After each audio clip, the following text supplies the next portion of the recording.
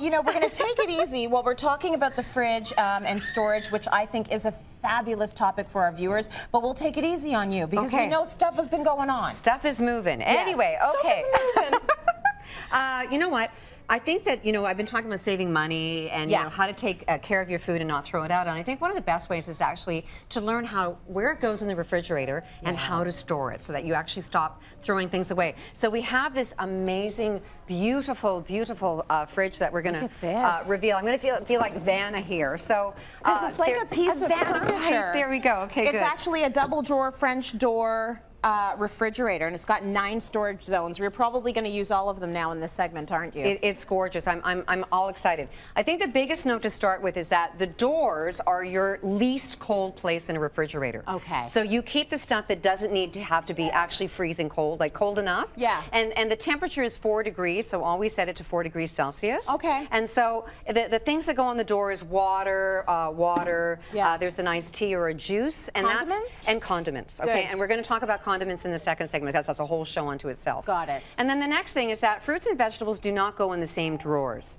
And if you do that, they actually expedite um, ripening. So apples, especially, Ah. uh, apples have uh, have a, a gas that they emit, Yes. and it actually speeds up ripening. So if you want to speed up something to ripen, Yeah. then stick it in a bag of apples, and it will ripen faster. Got it. But always keep your apples in a plastic bag in a separate crisper. And you've talked before about the fact that, yeah, you need to keep the apples in the bag. I used to take all my apples out until you told me that. Now I keep them in the bag. Because they need that humidity to keep nice and crisp. Okay, Right. when you take them out, um, it's not going to have the same thing. Even though the drawers have a kind of a humidity, it's still better in the bag. In the bag. Okay, now over there we've Yes. got a mango Yes. and a squash. Okay, so the reason I'm going to talk about those ones is that things like mangoes, um, you would ripen this on the counter first. Yeah. And then when it's ripe, you put it into the refrigerator in the fruit drawer. Okay. Um, unless, okay, and then if for a squash, this is not to go in the refrigerator until it's cut. Got it. So when it's cut, it goes in the fridge. It's not cut, so we're not going to put it in. That makes sense. Okay, so avocados is one of my favorite things to eat in the whole world. I love them. And once again, so I buy them when they're on sale. Yeah. Buy multiples, keep them hard in the refrigerator Mm-hmm. until you want to ripen them,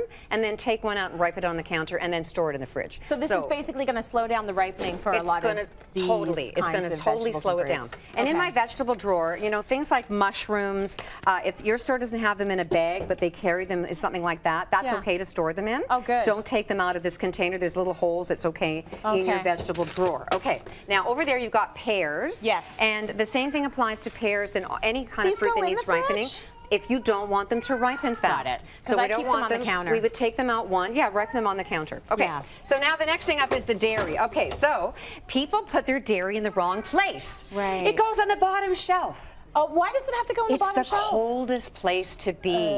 So you oh. want to keep. Oh.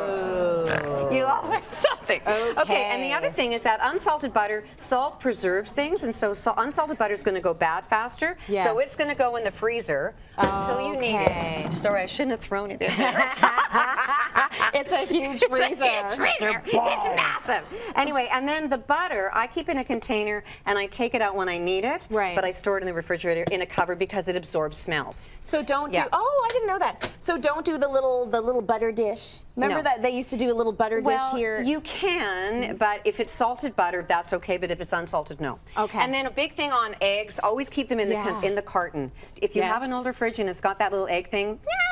No. No, because this is going to uh, prevent it from absorbing odors and it get a funny smell. And when you hard cook an egg, you want to hard cook them and then put them in a covered container as well. I do all this. I feel like I'm passing. Yay! Okay, but the eggs though, um, do you care where what shelf they're on in yeah, the fridge? bottom shelf. This is all on the bottom Man, shelf. I just failed. coldest stuff. I was doing so The rest of the dairy. The rest of the dairy. Okay. So, yogurt, So let's now, get some now cheese. This is an interesting one. So cheese. When Mm-hmm. you first buy it, I shop at Metro. I love their, their stuff. Um, uh, so you're going to put that on the bottom shelf, unless you have a cheese drawer that's on the bottom. Got so it. you could use that one. Yeah. Um, and then when you open cheese up, the way that you make sure that it doesn't go bad Mm-hmm. is that you you uh, keep it in the actual label that it was in, the Yes. packaging, and then wrap it up in parchment paper, or you could use foil, and then put it Uh-huh. in the plastic. And depending on you know what kind of cheese, it could last up to you know three six months. It just depends if it's hard or soft or uh, Okay. uh, a firm cheese. So you Yeah. don't just leave it in the plastic and get an elastic from the junk drawer and put the elastic around this. No, that would be really bad, and I will come to your house and yell at you. How Oh, that would be life. really that would be really terrible. Okay, good. Yeah, I'll call, call 911 Okay. uh, and the, the food police will be here. I'm do it the right way okay, now. the next All one is a really important one. It's meat. Okay, Yes. so now this this is a, this I'm going to marry this fridge. Uh, okay, because it's got a meat drawer on the bottom, and that's where all the meat goes. And so I keep it in a plastic when I buy it in the store, Yeah. and keep it in. If you don't have a meat drawer, you want to keep meat, uh, a fish, poultry on the bottom shelf because if it does drip, it's not going to contaminate the rest It's of your so refrigerator. gross. And you're going to wash that drawer out. But if you don't have one, then you can buy these at you know just a uh, like a dollar store Yeah. and, and store it in here. But wash it out all the time.